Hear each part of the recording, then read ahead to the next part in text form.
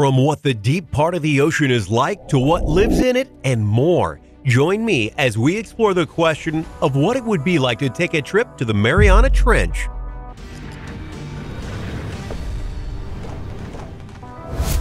In terms of mystery, as well as being the least explored place on Earth, few places are as deep and unexplored as the Mariana Trench.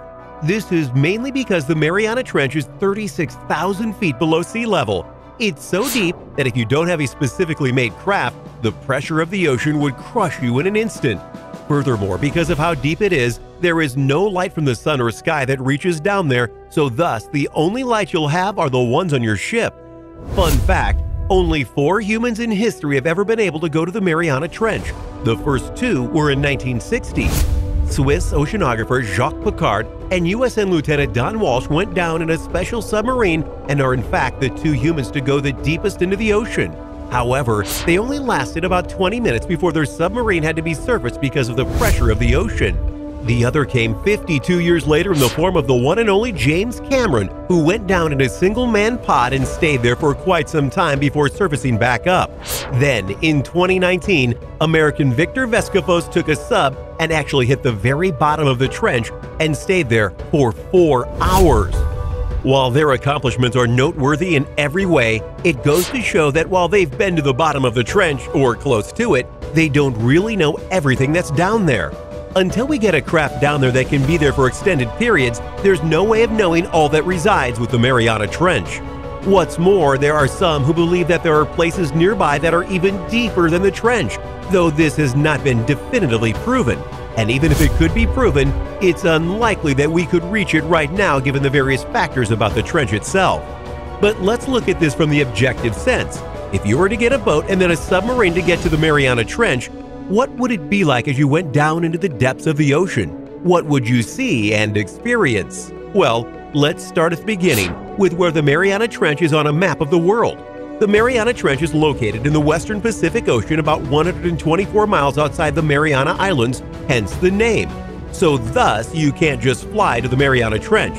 You'll have to go and get a boat to take you there, and you'll likely have a nice view of various islands and oceans to see as you get even closer to the spot where you dive, dive, dive.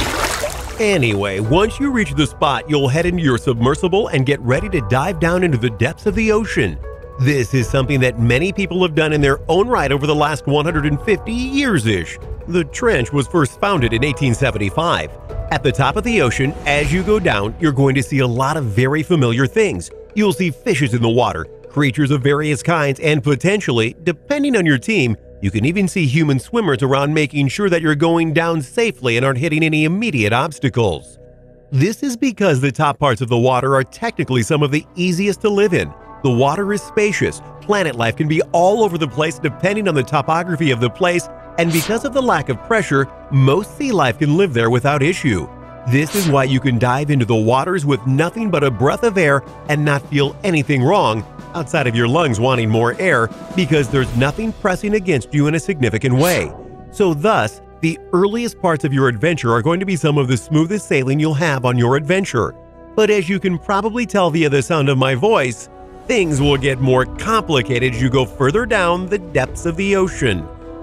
Before we get to the deeper parts of the ocean and the Mariana Trench, be sure to like or dislike the video so we can continue to improve and make you the best videos possible. Also, be sure to subscribe so that way you don't miss any of our weekly videos. As you reach about 65 feet below sea level, you'll start noticing a different type of sea world, pun intended, opening up. You'll see a bunch of coral reefs around, again, depending on where exactly you're heading down into the trench. What's more, you'll still see people here, but this time it'll be as scuba divers, as by this point, not only will the pressure of the ocean be a lot more intense, but that far down, it'd be very hard to dive down and get back up with one breath. People have proven this to be wrong, though, but they were trained and the average person couldn't do it. Once you reach about 140 feet below sea level, the pressure is too much for scuba divers to continue, or at least the scuba divers that are there for recreational purposes. More on that in a bit. As you reach about 200 feet below sea level, you'll start to notice more and more whales. Specifically, you'll see orcas, aka killer whales, as well as whale sharks, the biggest sharks in the world today, and the biggest fish in the world today as sharks are fish. Both of these creatures are impressive in their own rights, but you've got a lot more to see as you continue to dive further down. If you hit 330 feet, you'll notice scuba divers again.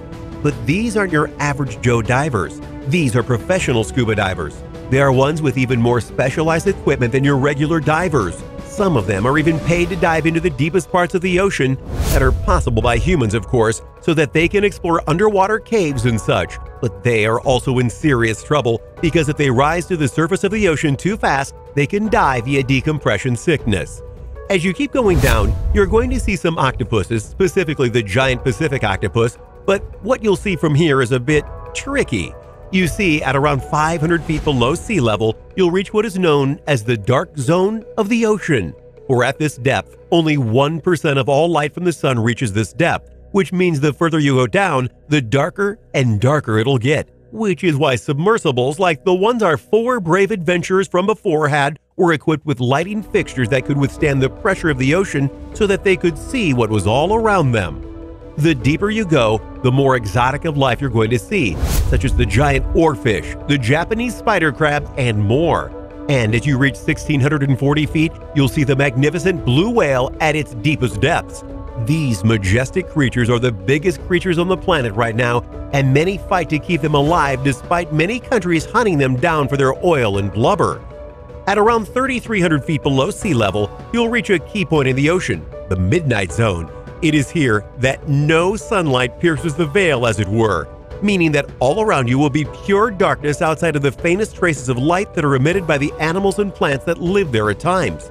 This is known as bioluminescence, and many creatures of the deep and the depths to come have this so that they can both see and ward off predators, or in some cases, lure in prey.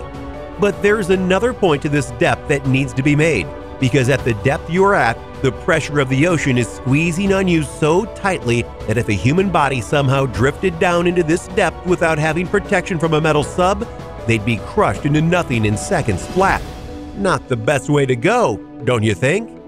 At 4,200 feet, you'll see the deepest depths that one of the most terrifying predators of the ocean can go to the great white shark.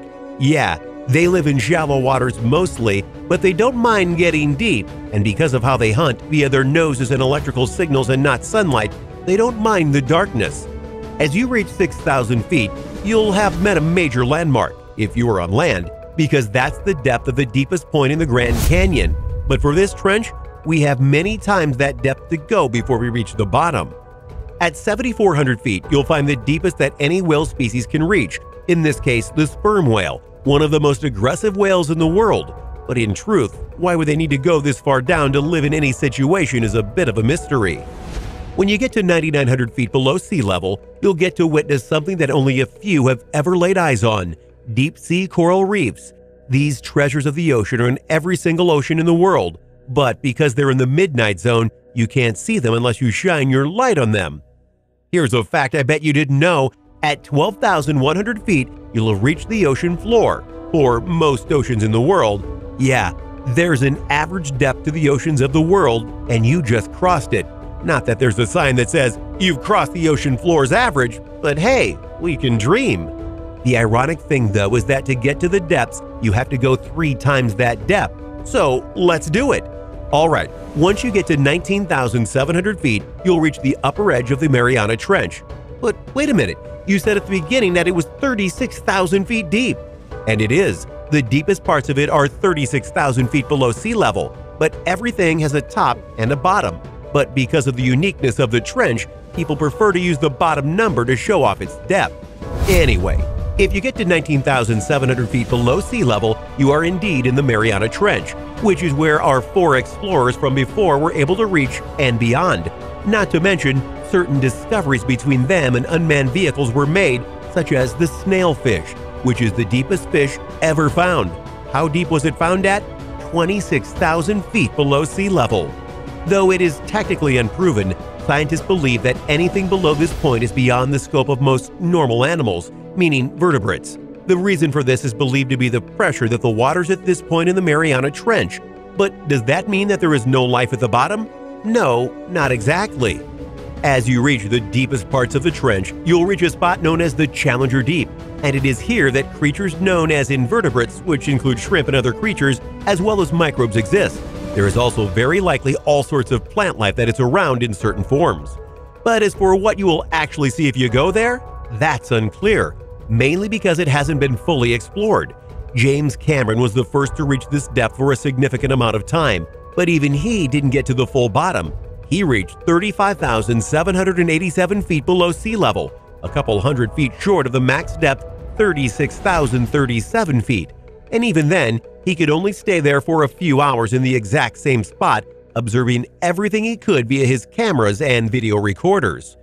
Needless to say, it was a pretty big deal, and the man from 2019, Victor Vescovo, had an even deeper dive by about 50 feet, and he still wasn't able to explore it all. So, in short, if you wanted someone to paint a picture of what the bottom of the Challenger Deep was, you'd likely have to look at the video footage and extrapolate exactly what is there because the answers aren't something you can find in a textbook or even online in certain ways. This is a major reason why more people want to take trips to the bottom of the Mariana Trench because there's still so much left to explore.